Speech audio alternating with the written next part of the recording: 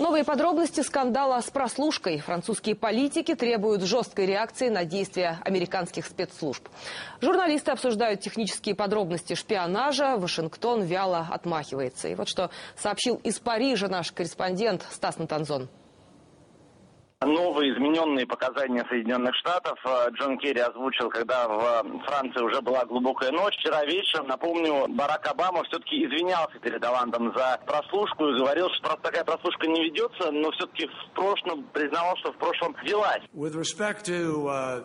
При всем уважении к Wikileaks позвольте мне разъяснить. Мы не следим за президентом Франсуа Оландом. США вообще не шпионят за друзьями. И мы не задействуем внешнюю разведку до тех пор, пока не возникает угроза Соединенным Штатам. В отношении слов, что США не следят за друзьями, местные журналисты много об этом пишут. Вспоминают, конечно, и предыдущие скандалы. Самый громкий последний – это в Германии, когда следили много лет за Ангелой Меркель. Кроме того, один из э, местных э, журналистов просто сопоставил фотографии американского посольства в Париже за разные годы, обнаружил, что там была построена пристройка новая в 2004 году, из которой, похоже, и э, велось следствие, там темные окна в этой пристройке. После этого этот же журналист обнаружил, что такие же пристройки появились еще в 19 посольствах и различных европейских стран, то есть можно предположить, что аппаратура для слежки установлена и в этих 19 странах. Джулиан Ассанж уже тоже сегодня, поздно ночью, призвал французское правительство не прятать в голову в песок и не замалчивать скандал, как это делали в Германии.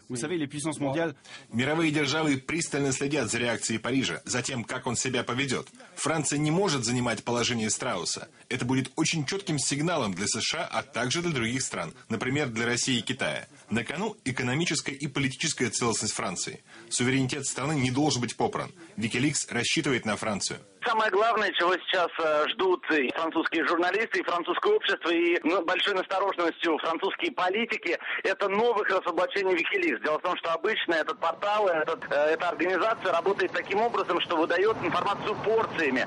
Каждая следующая порция еще более скандальная, еще более сенсационная, чем предыдущая. Журналисты и Либерасион, и Медиапарта уже заявляют, что у них есть, например, э, данные, они их сейчас обрабатывают о том, как американская разведка следила за кандидатами президенты Франции на прошлых президентских выборах. А это уже совсем недавно. Это говорит о том, что э, слежка э, полным ходом велась и э, во времена уже Обамы. Что ж, будем ждать, какие э, будут новые разоблачения и будут ли вообще. Стас Натанзон и Игорь Никулин. Вести, Париж, Франция. В США суд официально огласил смертный приговор Джахару Царнаеву. Он признан виновным в теракте на международном марафоне в Бостоне. Царнаев впервые воспользовался правом выступить. Он извинился перед жертвами и пострадавшими. 15 апреля 2013 года на финишной прямой бостонского марафона прогремели два взрыва. Сработали самодельные взрывные устройства.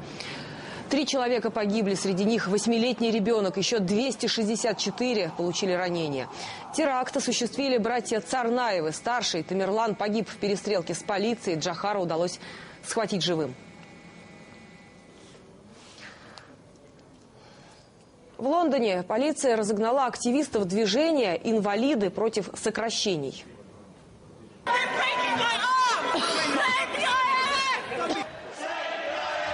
Десятки митингующих, многие из которых инвалиды-колясочники, попытались прорваться в парламент во время еженедельной встречи премьер-министра с депутатами.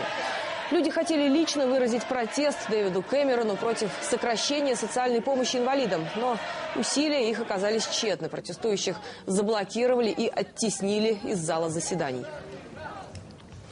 Дефолт на Украине практически неизбежен. Аналитики влиятельной американской инвесткомпании Goldman Sachs назвали точную дату банкротства страны. 24 июля. Это не прогноз, а констатация факта. Цитирую. Украина не осуществит выплату, назначенную на 24 июля, и в результате войдет в состояние дефолта. Речь идет о долге Украины перед международными кредиторами. 9 миллиардов долларов, которых в стране, понятно, нет. Киевский Кабмин предложил план реструктуризации, а именно простить 40% долга и дать еще денег под украинские облигации. Но поскольку кредиторы благотворительностью не занимаются, просителям от отказали и сдаваться пока не намерены.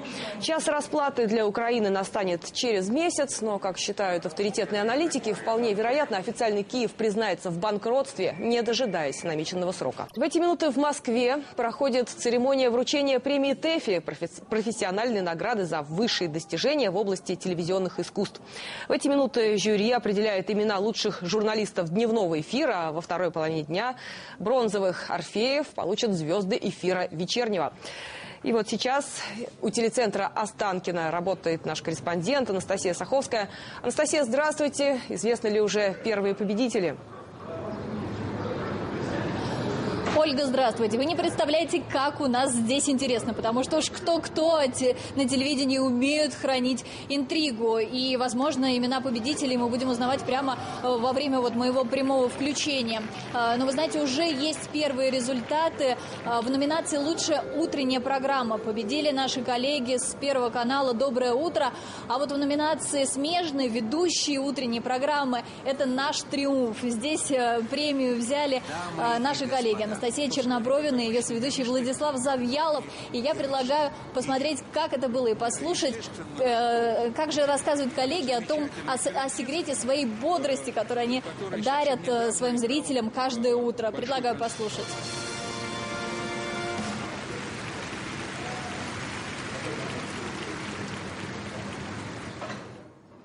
Я считаю, что утренний жанр, он самый сложный. Не потому, что мы и работаем очень энергетически заряжены, конечно. И затратный. По пять часов прямого эфира. Мне кажется, надо очень любить людей. Мне кажется, надо очень любить свою работу, свою профессию. Без этого, ну, ну вообще никак. А мне кажется, нужно очень любить утро каждого дня. Надо сказать, надо сказать, что церемония началась совсем недавно, и наша телекомпания ВГТРК представлена в церемонии дневного эфира во всех номинациях, и впереди очень интересные, такие, например, как а, публицистическая правовая программа. Здесь представлен наш проект «Честный детектив», а, также просветительская программа, проект наших коллег с телеканала «Культура», а, называется он «Белая студия», а также уникальный, не имеющий аналогов проект мирового масштаба, ведет его Дмитрий Губер, Вернев. Это спортивная программа «Танковый биатлон». И я предлагаю послушать, в каком настроении номинанты шли по красной дорожке. Мы 13 лет делаем программу «Честный детектив». Это тяжелый труд. Ходить по следственным изоляторам, по колониям и по не очень приятным местам. И общаться тоже с не очень приятными людьми, в виду героями наших программ. Поэтому, ну, в принципе, за такую тяжелую работу было бы неплохо что-то получить.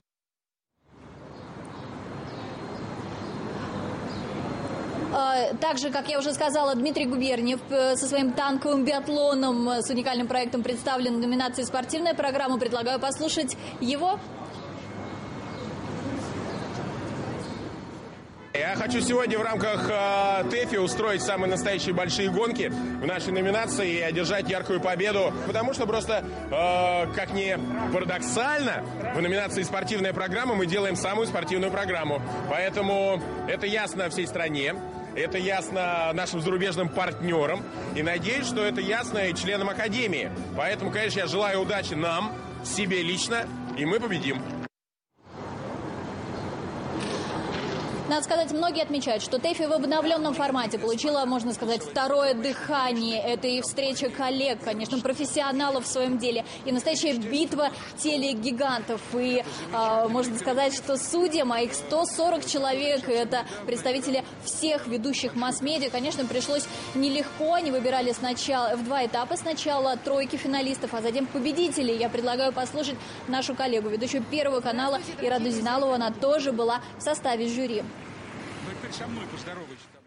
Каждый считает себя самым лучшим, самым профессиональным, самым достойным. Судить всегда нелегко, потому что мы все много лет рядом. Никого не хочется обидеть, никому не хочется лишнего польстить. И поэтому это правда тяжело. Спасибо, Анастасия. Но вечером Анастасия нас интереснейшее... Спасибо, Анастасия. Из телецентра Останкина Анастасия Саховская, где в эти минуты идет церемония вручения профессиональной премии ТЭФИ. Разгул стихии. Российские города приходят в себя после ливней и ураганов. Ветер крушил дома, сносил крыши и валил вековые деревья. На улицах реки. Масштабы бедствия оценил Олег Пакшин.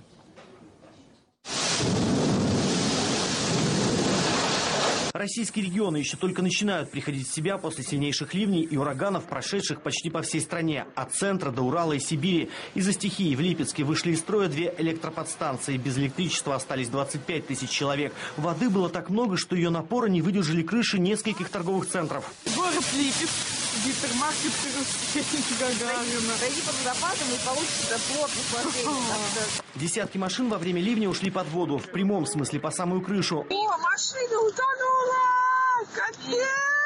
На помощь водителям пришли прохожие. Они спасали тех, кто оказался в ловушке. А маршрутки, застрявшие в воде, выталкивали сами пассажиры.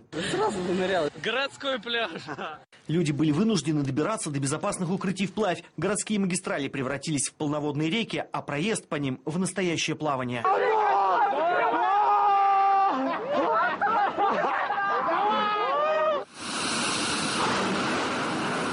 Пермь дождь пришел вместе с сильным ветром. Накануне вечером ураган здесь бушевал всего пять минут, но его последствия коммунальщики ликвидируют до сих пор. Ветер срывал рекламные щиты, кровлю с домов и обшивку с балконов. Пережитое пермики сравнивают с Армагеддоном. Фильм «Катастрофа». Все лежа, практически от ветра легло. Поэтому было очень страшно. Выходить никто не выходил. Из-за повальных деревьев выезды из дворов оказались заблокированы, а общественный транспорт встал. Повсеместно в городе разрывы на линиях электропередач. Здесь вот э, стали заворачивать, и такой ветер поднялся, такой ветер поднялся. Мы это вот все вот ощутили. А Екатеринбург спасался от града размером с кулак. Автовладельцы подсчитывают убытки. Стихия бушует в городе уже второй день. Высота волны от проезжающих автомобилей достигает двух метров. На одной из центральных улиц вода размыла дорогу. На проезжей части образовалась гигантская воронка. Тут было, был люк вчера. Вот это ливневочка. Вот это понимаю по-русски. В Туве заложниками стихии стали пять человек. На федеральной трассе сошел сель, несколько автомобилей оказались заблокированы. Сейчас к ним на помощь спешат сотрудники МЧС. А вот жители Астрахани, наоборот, мечтают о влаге. На Нижней Волге сейчас установилась небывалая жара. Столбики термометров показывают до плюс 50 градусов. А на солнце будет все 50 с лишним. Так что умираем. Такого не выдерживают не только люди, но и электросети. Вчера из-за аварий более 30 тысяч жителей Астрахани и пригородов остались без электричества. Многие светофоры в городе не работают до сих пор. Вообще проблемно проехать. Друг другу никто не уступает. И сотрудник полиции, там нет регулировщика. Ничего хорошего нет в метеопрогнозе для столицы. В ближайшие два дня синоптики обещают грозы, местами сильные и ветер с порывами до 20 метров в секунду. Олег Пакшин и Айгуль Гимранова. Вести. В Кремле чествуют отличников военной учебы со всей страны. Курсантов лично приветствует президент. Традиции таких приемов уже 80 лет прерывали ее лишь в военное время. Владимир Путин отметил, что России нужна сильная армия, гарантия безопасности в условиях нынешних рисков. При этом агрессивных планов у нашей страны нет, подчеркнул российский лидер. Россия – это открытая миру страна которая выступает за укрепление сотрудничества и партнерства со всеми, кто к этому готов. У нас нет и не может быть агрессивных планов. Мы никому не угрожаем и любые спорные вопросы стремимся решить исключительно политическими средствами. С уважением относимся к международному праву и интересам других стран. Вместе с тем, мы видим, что в сегодняшнем мире немало вызовов и рисков, в том числе в непосредственной близости от наших границ. Поэтому сильная, оснащенная современным оружием армия – это залог суверенитета и территориальной целостности России. Это гарантия мирной и спокойной жизни миллионов наших сограждан. Уверен, вы это хорошо понимаете. Кабинет министров обсуждает проект бюджета на новую трехлетку с 16 по 18 годы. Все социальные обязательства должны быть исполнены, сказал Дмитрий Медведев. Независимо от ситуации, власти продолжают вкладывать деньги в программы, которые повышают качество жизни. Еще одна задача – уменьшить зависимость бюджета от внешних шоков, в том числе санкций. Премьер сообщил, что контрсанкции России продлеваются еще на один год, и перечень запретных иностранных товаров почти не изменился. Значит, год назад не мы начинали это санкционное противостояние, и для того, чтобы прекратить его, нужны взаимные усилия. К сожалению, со стороны этих государств мы пока никаких позитивных изменений не видим. Но хочу отдельно подчеркнуть, что наши действия обусловлены в этом направлении прежде всего экономическими, а не политическими причинами. Перечень, он, конечно, не является константой, может быть изменен в зависимости от целого ряда причин, в том числе и от того, как будут складываться наши отношения с европейскими партнерами.